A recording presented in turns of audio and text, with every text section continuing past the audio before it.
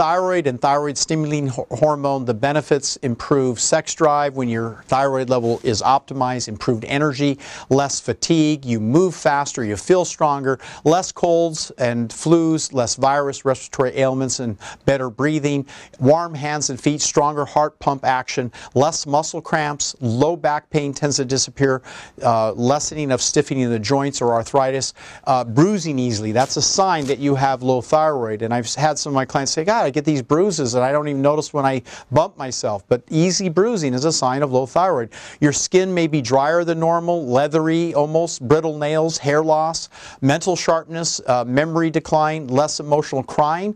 Uh, so you'll feel more up uh, when your thyroid's optimized, uh, less upset, and reduction in atherosclerosis and um, headaches. So Thyroid is, is one of the more important hormones to intervene with and make sure after you've had uh, a blood test for a complete thyroid panel that often ignores free T3. Your doctor may measure, but if they've left out free T3, that's one of the critical tests. And also, they can even do what's called reverse T3 to look for thyroid um, antibodies and, and measure that, that effect.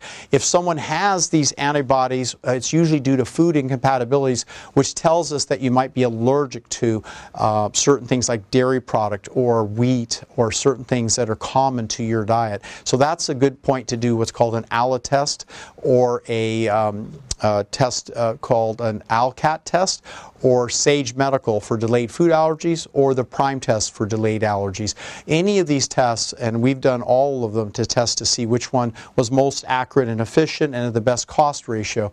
ALA test turns out to be a really good test for 184 different foods that tells you what foods you're uh, highly sensitive to or mildly uh, or not sensitive to at all, which means you're very compatible to those particular foods. That's going to be good for your thyroid balance, for your hormones, and your optimum health and energy.